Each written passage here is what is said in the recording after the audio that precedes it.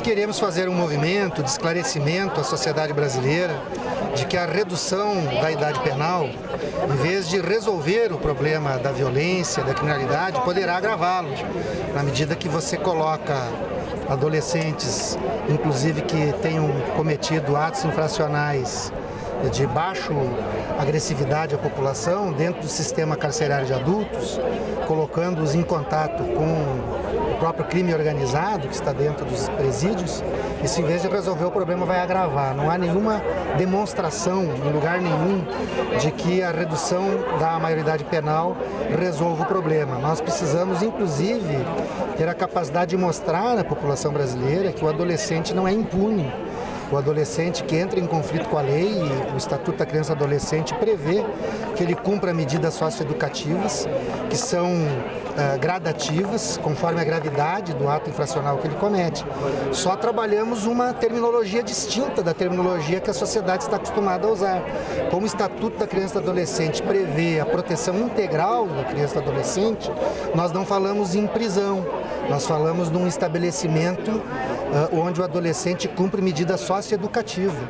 Nós não falamos uh, em, em, crime, nós falamos que ele cometeu um ato infracional.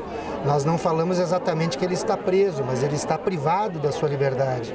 Então nós também temos que mostrar à população que não há esta impunidade que muitos dos defensores da redução da maioridade defendem. Então é um debate eh, que visa, antes de tudo, desmistificar determinados conceitos que foram eh, colocados a público e fazer um grande debate que é legítimo para da sociedade brasileira de quais as formas mais eficientes para a gente reduzir a violência e a criminalidade. Esse debate é legítimo, eh, não através de propostas reducionistas, simplificadoras, que não demonstraram eficácia em lugar nenhum do mundo onde foram praticadas. Tanto é assim que muitos países que reduziram a idade penal estão discutindo retornar a idade penal aos 18 anos, sendo que a maioria dos países do mundo, inclusive, tem a idade penal aos 18 anos.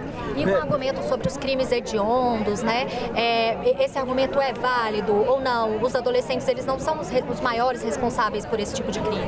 Toda, todas as estatísticas demonstram isso. Quer dizer, os adolescentes são responsáveis por uma baixa incidência de crimes no Brasil e no que diz respeito a crimes contra a vida, ah, seja homicídio, seja latrocínio, seja estupro, ah, na realidade, se a gente for ver os adolescentes que cumprem medida socioeducativa por ato infracional dessa natureza, nós temos aí cerca de 3 mil adolescentes no Brasil inteiro, então é um número pequeno.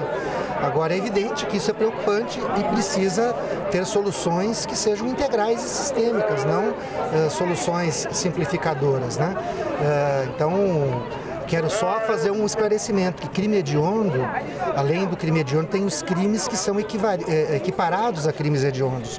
O tráfico de drogas é equiparado a crime hediondo. Um adolescente que foi aliciado pelo tráfico ou começou a ser usuário e foi para o tráfico, ele precisa de proteção. Ele não, ele não pode ser equiparado a alguém que cometeu um crime hediondo. Então tem que ter cuidado também quando se levanta essa bandeira. Né? Então nós precisamos de fato mostrar esses dados para a população brasileira e mostrar que em alguns casos o adolescente eh, que comete um ato infracional fica mais tempo privado da sua liberdade do que um adulto que cometeu um crime análogo assim tipificado no Código Penal. Isso é válido, por exemplo, para situações de homicídio simples, para roubo qualificado. O adolescente fica mais tempo privado da liberdade do que o adulto, eh, considerando as possibilidades que o adulto tem de progressão do regime e etc. Né? Então, nós precisamos fazer um debate desmistificador né? e não um debate simplificador. Aqueles que uh, por desconhecimento, por voluntarismo ou por outra razão, uh, tentam passar para a sociedade que a redução da maioridade penal vai diminuir o problema da criminalidade e da violência, estão induzindo a sociedade ao erro. Tanto é assim que o Congresso Nacional, nos últimos 15 ou 20 anos, no que diz respeito ao Código Penal para crimes praticados por adultos, uh, votou várias matérias, várias, várias, várias leis que agravaram as penas e nem por isso houve redução da criminalidade. Por quê? Porque qualquer abordagem que seja só punitiva, qualquer abordagem que seja só repressiva e que não leve em conta o, as questões uh, de impactos sociais que são fundamentais uh, para a superação do problema da violência e da criminalidade estarão fadadas ao insucesso. Por isso que a gente diz, e é por isso que inclusive que o Estatuto da Criança e do Adolescente propõe uma abordagem integral, transversal, envolvendo um conjunto de políticas públicas e não só as medidas punitivas. Ministro Pepe, como, como garantir que a verba, como garantir que a verba para o combate à matança de negra não seja cortada por, pelo nosso governo? Como garantir isso? Para nós estamos preocupados, porque recebi a informação do Ministério da Fazenda, foi cortado verba para o combate à matança de negra. Olha, é importante dizer que segurança pública, é, a rigor, é uma responsabilidade mais dos estados do que da União. Nós estamos, inclusive, querendo modificar isso, abrindo um debate sobre o capítulo da segurança pública na Constituinte, trazendo mais atribuições à União no que diz respeito ao sistema de segurança pública.